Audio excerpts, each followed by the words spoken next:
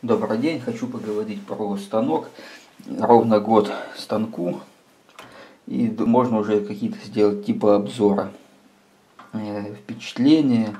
Поэтому, потому что до этого были так, ну, которые, где первое видео, где это распаковка его, я там, ну, чушь какую-то говорил. Потому что, ну, я ничего не знал. Вот, ну что, станок работает, можно сказать чего хорошо, что, что хорошего, что плохого. Маленький, компактный, удобный, что его поднял, перенес.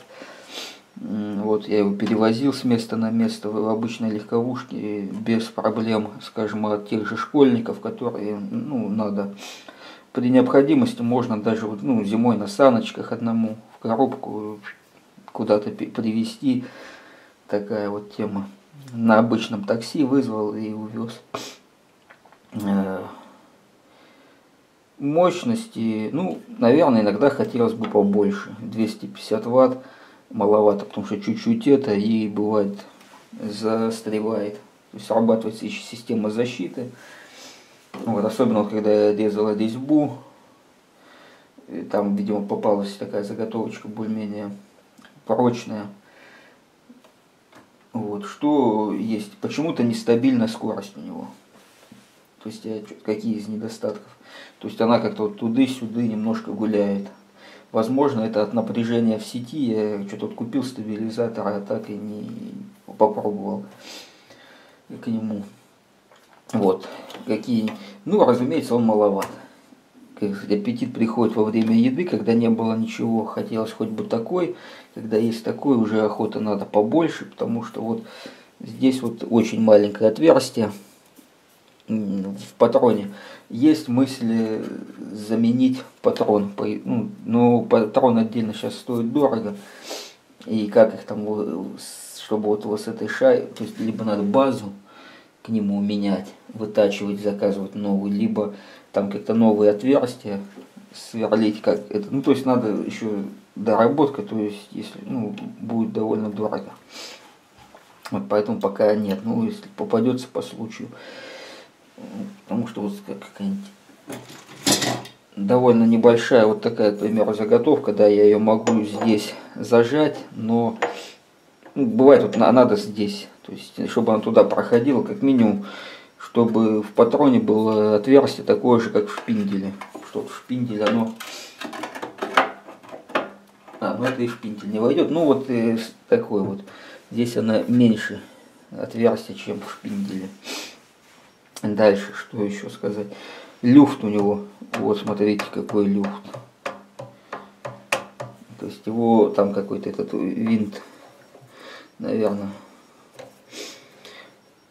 можно ли там гайку поменять. Ну, пока, в принципе, скажем, ну, когда что-то большое, не совсем тонкий диаметр, то оно не играет. Потому что оно вот уперлось и как бы сюда выбрато до конца. Но когда он к концу где-то ближе тоненький, он иногда как-то раз, опять же, если резец не совсем э, по совпадает как сказать, по центру заготовки, если он чуть-чуть вот ниже. И он как бы раз и подныривает, и туда вот как-то вот так вот раз и проскакивает. Вот такая вот есть фигня. Вот, лю, вот в поперечного люфта намного меньше, практически нет.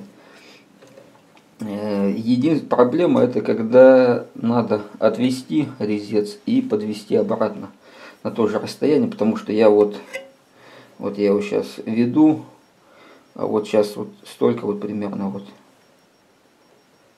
ну, практически оборот этого он еще не начал отходить. И вот только сейчас. Ну, с другой стороны, люфты, он уже в обои стороны. То есть, вот да, вот он оборот, потом пошел, потом опять тот же люфт будет. Ну, короче говоря, просто это неудобно, но с функциями справляется. Резал я на нем резьбу, резал, а просто что-то вытачивал.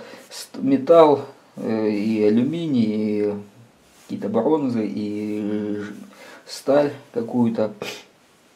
То есть точить можно любые э, вот, функциями своими справляется. Дальше, что еще у него? Вот такая вот еще, смотрите, вещь, что я его могу, вот видите, сдвинуть сторону. Он едет. Ну, то есть вот она. Э, чем это плохо? Ну, то есть, как, может, когда, скажем, заготовка не круглая, допустим, мы из шестигранника нам надо сделать круг, там, то там такие, получается, как бы удары, и вот эти удары, если они как-то, ну, имеют направленность сюда, то они могут его сдвигать. Ну, или, скажем, вот торцуем, с торцевым что-то сделать, вот оно сюда, ну, видите, оно может двигаться.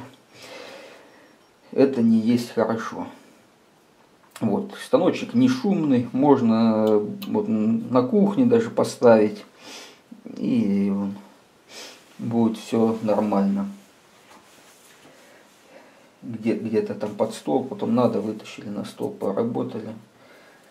Ну, что еще о нем сказать хорошего или плохого? Ну, есть какие-то идеи, как и еще кое-какой какие доработки про какие-то там, что вот винты разные, там хотелось бы один разный, там вот в одном месте такие шестигранники, в другом сякие. Почему не сделать одни и те же везде? Ну, для меня немножко это загадочно. Вот. Это было бы удобнее. Что сказать о будущем? Есть э, желание, вот ему год, через годик еще я хочу снять вот эту защиту над, вот она, над патроном. Смысл в ней мне немножко загадочный. Ну, единственное, наверное, чтобы вот сюда вот как-то палец, что она стукнуть может, да. Она полезна, защита любая, но просто после каждого открывания-закрывания надо, ну вот, здесь это уже, как говорится, система управления его касается. Вот если я его открою, то мне положение, этот должен быть выключен. Сейчас, если я его включу, загорится лампочка, он не заработает. Сработает система защиты. То есть, получается, а бывает надо там что-то сделать, ну, лишний раз щелкать выключателем. Так, я открою, включил, выключил регулятором, добавил оборотов. Э, что еще?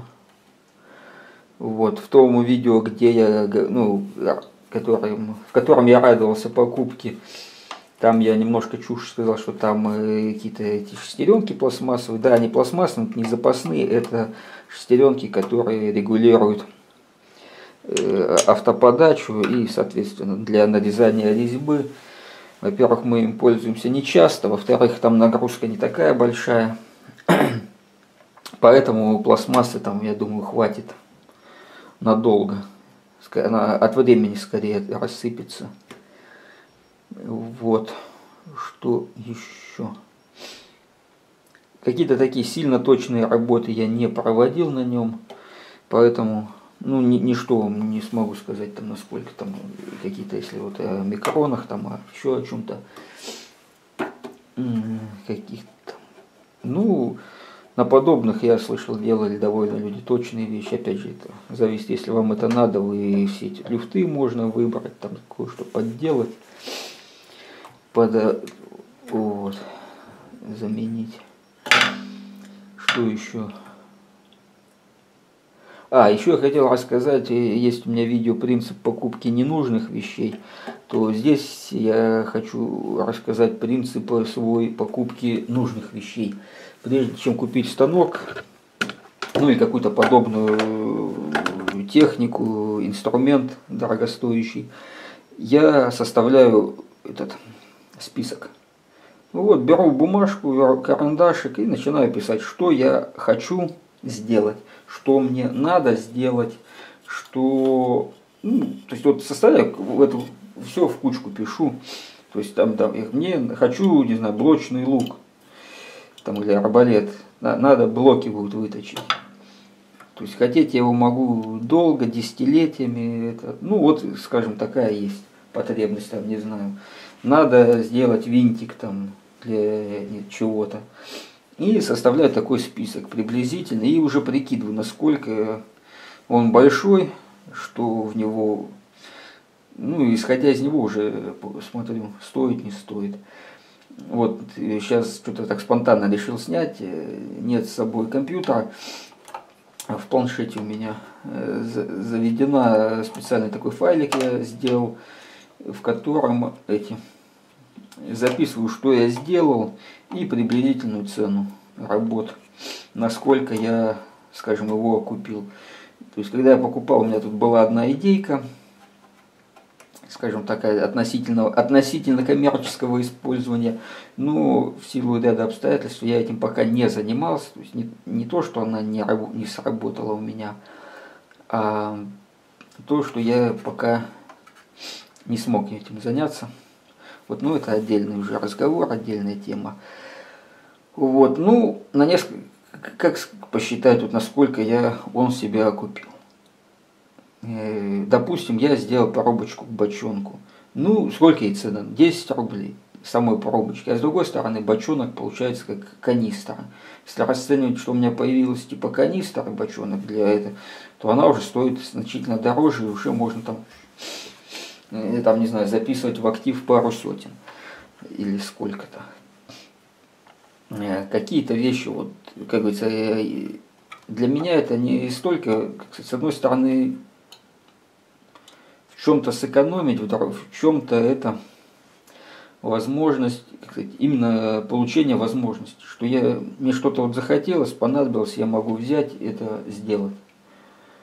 Потому что есть вещи, которые они стоят э, копеечные, но, во-первых, за них может никто не взяться. Ну, скажем, ту же пробочку для бочонка, ну, потому что за нее денег много не возьмешь. А возне, опять же, это надо знать, кому ехать, куда ехать, чтобы у него там было время и материалы там и так далее и то прочее. Плюс, опять же, ехать это еще транспортные расходы, время. Вот. А тут а тут есть еще такой, кроме экономии, плюс, что ну, удовольствие от работы.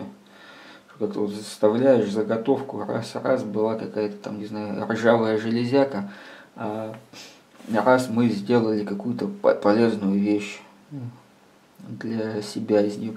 Бывает, и так как я что-то вот, ну, какие-то такие самоделки делаю, не самоделки, ну, вы видели, чем я занимаюсь на моем канале, если не видели, то можете посмотреть, подписаться. Вот.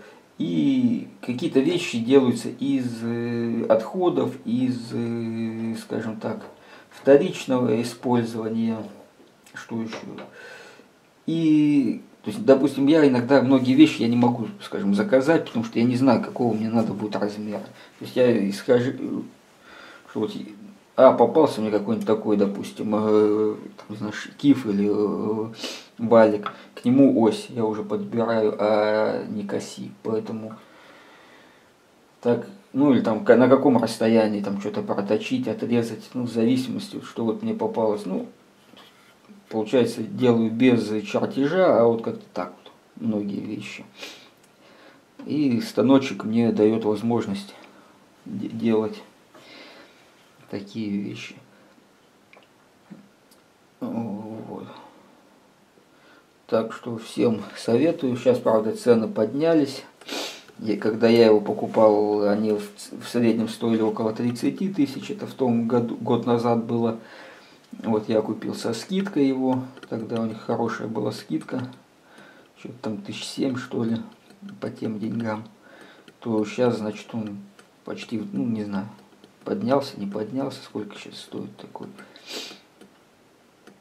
Ну вот другой в другом магазине помощнее стоил 30, ну то есть на пару тысяч дороже. Ну сейчас он стоит 50. Вот, соответственно, значит это тоже где-то. Уже за такие деньги я бы уже, наверное, не взял. Вот, ну, не знаю, насколько эти попадаются в продаже, если поискать там в интернете школьники, то, то тоже хороший, может даже лучше, они как-то побольше, помощней. Но там уже нужна мастерская, потому что его уже вот так вот можно поставить, но... А еще был какой-то такой, как-то или мастер, или еще что-то. делала советская промышленность, но там мне он как-то он хуже по некоторым вещам. Может он надежнее, мощнее, но там как-то она задняя бабка не пойми как, что-то такое, еще что-то, по-моему. Вот эта вот эта система. И он, по-моему, резьбу не нарезает.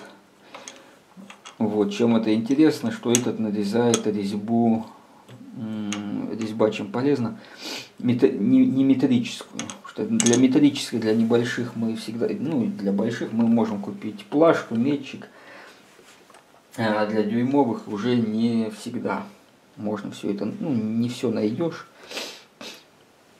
Э, дальше, что еще о нем сказать? ну, будем продолжать работать. По-хорошему вот эту вот железяку бы снять. Она, видите, как гремит. Вот есть, э, если о планах говорить, то есть снять вот эти вот э, защитные жестянки, чтобы они не гремели, потому что когда работаешь, оно, ну, вибрация передается.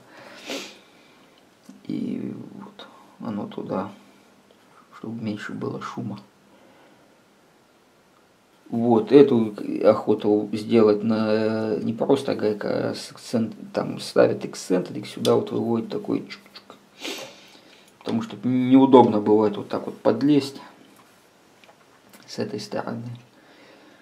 Ну, когда вот в каком-то такое положение, а нам надо. Что еще ну, сказать? Ну, вот и что проблема была. Видите, опять же, я сделал не так много, как планировал. То есть еще такую вещь к цене вопросу. Когда посчитал, поприкидывал, у меня где-то было в планах окупаемость э, примерно 3, 3 года.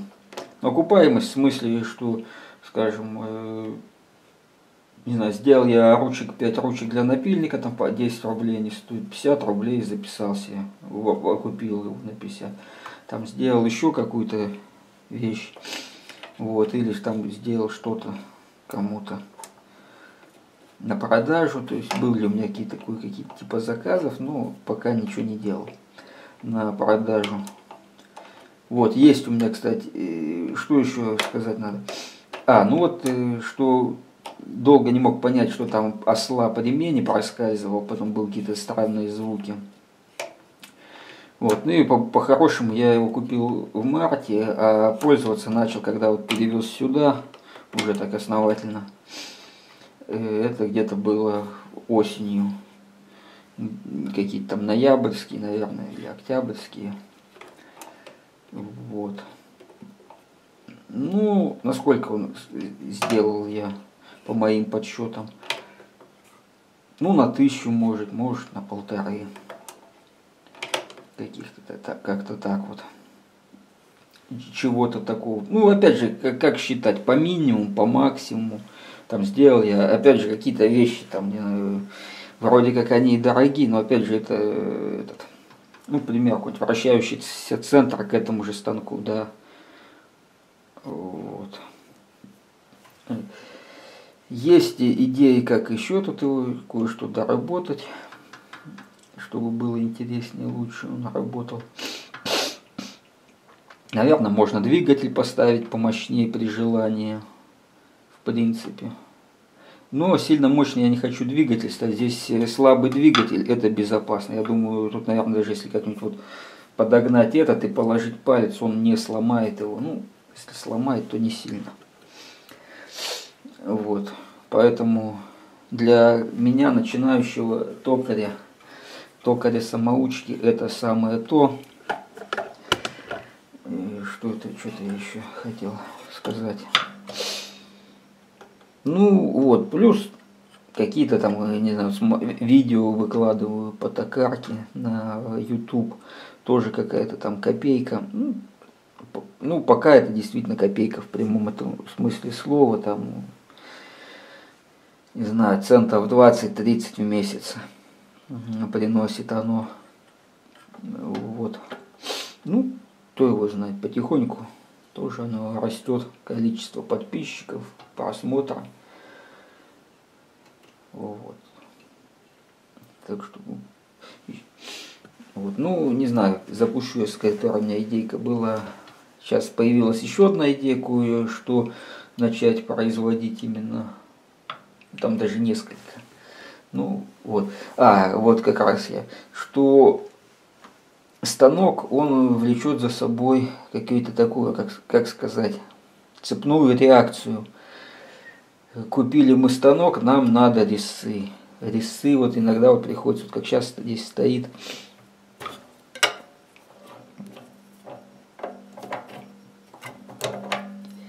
Вот, видно ли? Наверное, не видно. А, сейчас, ну, лень. Ну, то есть он вот он, вы, как бы вырезан такой пазик в нем. То есть, значит, надо осваивать какую-то болгаркой, резать, шлифовать, подтачивать. Дальше, рисы надо точить, это надо завести, как, желательно алмазный э, круг, чтобы их точить, чтобы они были острые, делали качественно, резали хорошо. Вот есть какие-то идеи, там, ну, по, как сказать, потренироваться, поучиться. Если покупать сейчас кругляк алюминиевый, он довольно дорогой.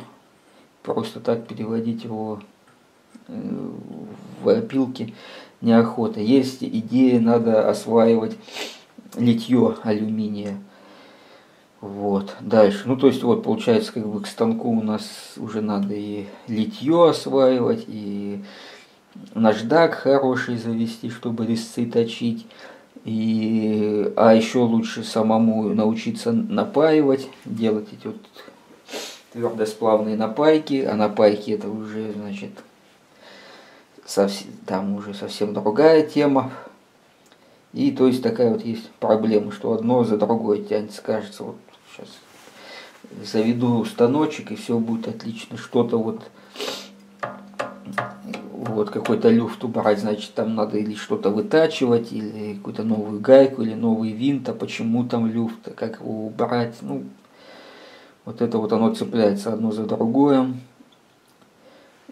Что еще желательно к нему завести? Вот сюда бывает, вот так, как она называется, не знаю, вот ставится такая штука, что резец, содержатель, он ходит вверх, то есть добавляется третья координата, очень хорошая, полезная вещь, тогда можно резцы не обрезать, не покупая не в магазине, а так на базарчике, там бывают какие-то бэушные еще, то есть там у них высота колеблется, вот этого. А когда если вот это у нас часть, которая ходит, тогда мы ну, можем четко ставить, это будет более качественное точение, плюс возможность вставлять более крупные вот эти резцы, они как-то проще найти, купить. Соответственно, вот. Плюс можно тогда сюда вставлять фрезу, здесь закреплять какую-то небольшую заготовочку и в ней уже фрезеровать что-то. И тогда у нас уже превращается в небольшой фрезерный станок. Это полезно, это очень хорошая опция. Но вот этих вот я в продаже не видел, э, скажем так, вживую. В интернете есть, но там это не пойми кто, не пойми куда посылать деньги, кому плюс все эти накладные расходы, ну, получается, это есть мысли, так я обдумываю, может быть, это как-то самому сделать, вот, либо там ну, с, ну, с привлечением каких-то знакомых, еще где-то что-то заказать, что там, в принципе, ничего сильно хитрого нету. Вот, ну, вот такая, ну, вот это вот, если это есть возможность это вот купить, то очень, ну, как говорится, функционал ну не в два раза, но намного увеличивается. Вот такие вот впечатления, обзор такой. Э, сказать, сколько он снимает металла за раз, там это ну, такой вопрос спорный, не спорный, разный металл. Я вот тут на одной заготовке нарезал, а здесь вообще мало снималось за раз, другую взял, там в три раза больше и нормально. Поэтому показать на каком-нибудь мягком алюминии, что он супер станок, это будет не совсем верно. Также и сталь, она разная бывает. Вот. Ну, конечно, да, это он медленный, небольшой, то есть для каких-то таких производств он, наверное, не годится. А вот когда мы делаем для себя, когда мы не, скажем, свободное от работы время занимаемся чем-то, что-то сделать для себя, выточить, для... То есть это не станок для производства, это, скажем так, для ремонта, для изготовления каких-то таких вот разовых вещей, что-то для чего-то тут, ну, каких-то вот. Для таких целей очень хорош, незаменим. Ну и в конце сказать, что да, вот, если вообще в целом говорить о мастерской, там после покупки, там, не знаю, перфоратора, шуруповерта, лобзика, болгарки, я бы поставил все-таки, ну, не самый главный станок, токарная вещь, а есть вещь чуть-чуть более важная, это сверлильный станок. Вот. Сверлильный станок – есть у меня, вот он вещь незаменимая. То есть вот, стоит дешевле, а штука полезней. Ну не то, что полезней, э, как бы сказать-то. Оно все полезно. Ну вот я вот очень радуюсь, что купил сверлильный станок. Э, почему? Потому что вот по сравнению сверлильный станок, по сравнению с тем, что сверлить дрелью в стойке, это, как говорится, сверлить вручную, это совсем плохо. Сверлить дрелью в стойке намного лучше.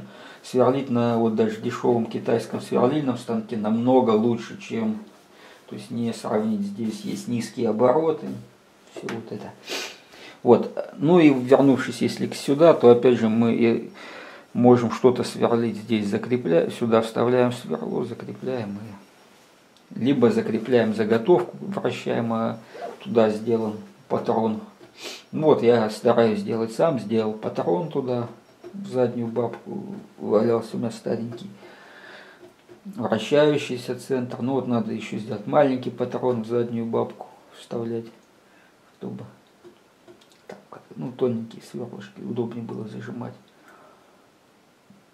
Э, что еще? Ну вот опять же, что вот он слабенький, сколько 250 ватт. Чем это хорошо, что вот у меня частный дом, здесь проводка старая, скажем, на каких-нибудь несколько киловатт, здесь уже боишься включать лишний раз, то 250 ватт, как говорится, это микроволновка 700 потребляет почти в три раза больше. Соответственно, значит здесь у нас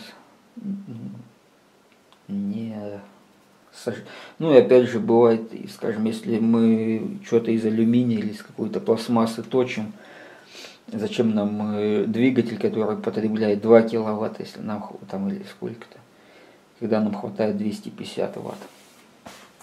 Вот. Поэтому охота уже второй иметь для мелких деталей вот этот вот, а для чего-то покрупнее, помощнее уже полноценный.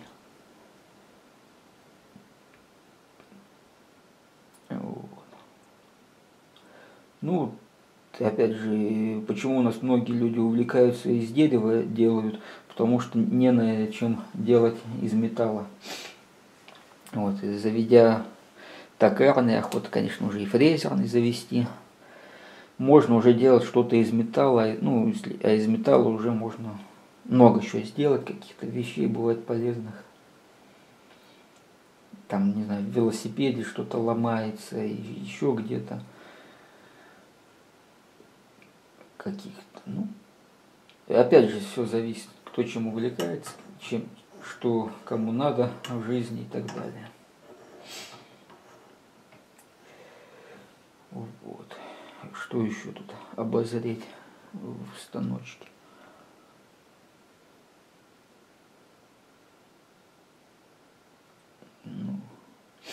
Не знаю, недавно последний раз я работал, вот немножко он грелся. Вот сейчас, вот, кстати, вот это вот тоже часть, вот здесь вот стал, то ли стал греться, то ли начинает ему приходить, как бы это сказать, мягче выразиться. Конец Но вот раньше не грелся, сколько я не работал. Но я опять же работаю не по много, не это, но он особо не грелся. Вот последний раз мне показалось, что вот это вот здесь, где-то где блок управления, немножко греется. И появилась такая вещь иногда, вот он включен, стоит на нуле, потом стоит, стоит, а потом как-то так, а, видите, включилось, э, что я открыл, ну ладно, я, я отключу. О. Он как-то тык, тык, дер, как бы дергается немножко или пытается сдвинуться, то есть э, либо начинают какие-то уже кондеры там подсыхать за год, и он уже, ну то есть ноль уже не становится нулем. То есть уже возможно через какое-то время вот этим нельзя будет выключить его, только рубильником. Вот это меня немножко, ну не напрягает, ну, вот. Ну, кто-то говорит, что типа это конструктор, не конструктор, а как сказать, полуфабрикат, что можно, надо брать из расчета, что потом доделывать, переделать. В принципе, здесь ничего сильно хитрого нет. Схемы управления двигателем, регулировки их много. В принципе, наверное, при желании можно спаять. По большому счету тут практически все. Можно двигатель мощнее поставить, можно блок питания спаять новый. Можно еще что-то, наверное, заменить. Не знаю. Ну, опять же, сегодня я вот ходил по базарчику, видел, станину от токарного станка продают. Там она, по-моему, побольше, у меня уже возникла мысль, а не стоит ли ее купить, поставить туда, двигатель, ну, вот эту часть туда. Как, ну, вот эту называть, переднюю бабку. Заднюю. Ну, вот такие вот мысли, идеи о станке. Так что можно обмывать, праздновать год. Что еще можно? Вот, ну, сшил я для него чехольчик, э, а, накрываю. Хочу вот сюда сделать такую вот типа корыца, не знаю, правда еще, то ли из железа согнуть, то ли из вот такой вот сделать какой-то. Ну что, с бортиками, чтобы сюда, когда во время работы кинул там ключик, которым там от патрона, или резцы, которым пользуюсь, там несколько, тут оно, чтобы оно было под рукой и никуда не свалилось. Вот, есть желание. Есть еще желание наклеить туда вот на железяки, либо их снять, она будет лететь. А туда, не знаю, или скотч просто, или вот как вот на металлические раковины сейчас клеют такую мягкую штуковину, чтобы она не так вибрировала. Было чуть-чуть потише. Ну и опять же можно и на пластмассу тогда на эту. Вот. Потому что я тут как-то вот резьбу нарезал, не зацепился, ну, как-то забываешь, что там что-то движется, и оно... Можно действительно попасть туда, но инвалидом не станешь на всю жизнь, но ничего приятного не будет. Такие вот пироги.